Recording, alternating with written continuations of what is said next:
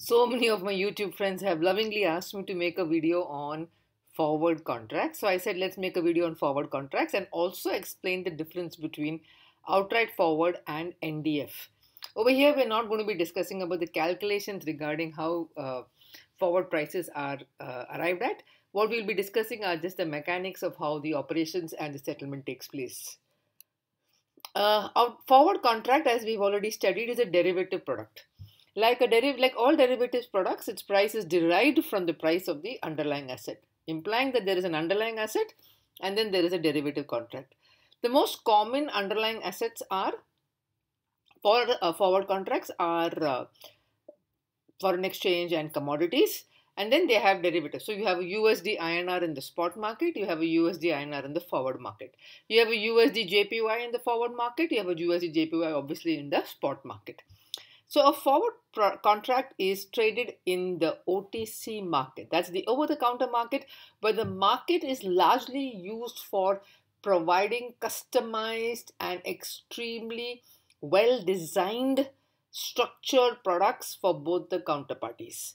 Since it's not traded on an exchange, almost all forward contracts are settled through central clearing counterparty. More about central clearing counterparty will be discussed in another video the price is locked in today for delivery that takes place sometime in the future.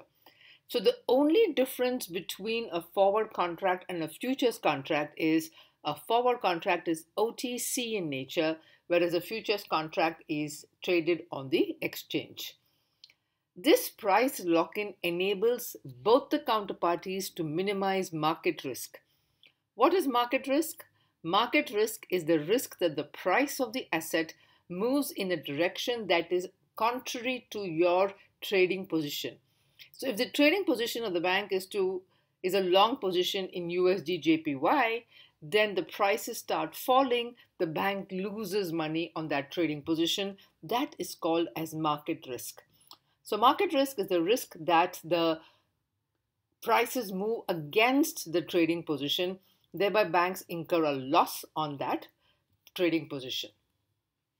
Let's go straight away into an example because there's no better way to learn finance, markets, structured products, etc., except with examples. And let's go back to our favorite hedge fund, Hari Hedge Fund. Now, Hari Hedge Fund is a US based fund. So basically, it has Hari Hedge Fund has invested in Japanese corporate bonds.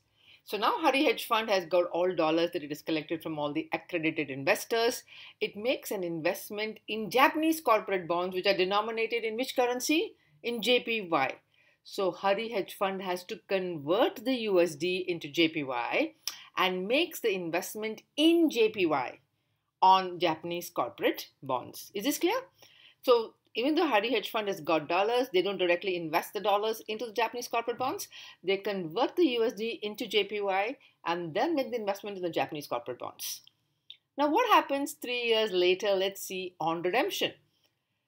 The Japanese corporate corporation redeems the bonds. So the Japanese corporation is going to return back the investment made by Hari Hedge Fund. But in which currency is it going to make back the, uh, the investment? It's going to return the investment back in JPY because that's the investment it's got in, right? It's got investment into these bonds in JPY. It's obviously going to return back the JPY. And Hari Hedge Fund is going to receive JPY. This basically implies that Hari Hedge Fund is exposed to FX risk. Foreign exchange risk, also called as FX risk, is the risk that the currency moves against the trading position. This will occur three years hence, but when is it known? It is known right away. What can the hedge fund do? Is there any product that the hedge fund can use in order to lock in the price at which it's going to protect itself against foreign currency risk? So, Hari Hedge Fund wants to minimize this currency risk on the settlement date, which is going to happen three years hence. But when is it known? It is known today. And therefore, Hari Hedge Fund decides to buy a USD JPY forward contract.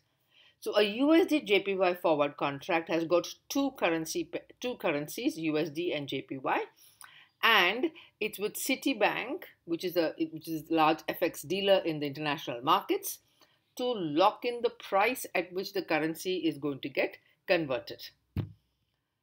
What is an outright forward? An outright forward is when Hari Hedge Fund has bought this USD JPY at, let's say, a currency conversion of 150 for a settlement that takes place three years hence. Okay, so Hari Hedge Fund has bought USD and sold JPY. Citibank has sold USD and bought JPY. Okay, when are they doing this trade? They're locking in the price today for something that's going to happen three years hence. Okay, but what would happen if on the settlement date the USD JPY rate is 160 or the USD JPY rate is 140. Come what may, because the contracted rate is 150, the conversion will take place only at 150. Okay, this is known as an outright forward, wherein there is a commitment by both the counterparties to convert at a particular currency exchange rate, and that's exactly what's going to happen. Irrespective of whether the rate is 160 or 140, the conversion is going to take place only at 150 because that's a contracted rate. This is the case of outright forwards. Now, what happens in a non deliverable forward? In a non deliverable forward, we are not exchanging currency for currency. Okay, that's why it's called as non deliverable. Non deliverable means you're not going to deliver the underlying asset. So, derivative means the price of the uh, derivative is derived from the price of the underlying asset, but in a non deliverable derivative, you're not going to deliver the underlying asset. So, what happens? All of them are cash settled. Okay. Hari Hedge Fund has bought USD JPY at 150 from Citibank, as was discussed a couple of slides earlier. And on the settlement date, the USD JPY rate is 140. So, who has incurred a profit and who has incurred a loss? Let's look at it. The contracted rate is 150, right? That means Hari Hedge Fund has bought dollars at 150. But today, the price of that USD JPY is 140, three years hence. So Hari Hedge Fund has incurred a loss, right? Are we clear on this? So Hari Hedge Fund has incurred a loss. This loss is paid by the fund to Citibank, that is the counterparty to the trade. Let's repeat. The contracted rate of USD JPY is 150. On settlement date, the rate is 140. Hari Hedge Fund had agreed to buy USD JPY at 150. It is now having to sell at 140. That means Hari Hedge Fund has made a loss, Citibank has made a profit, and Hari Hedge Fund has to pay that loss to Citibank. There is no exchange of the underlying assets.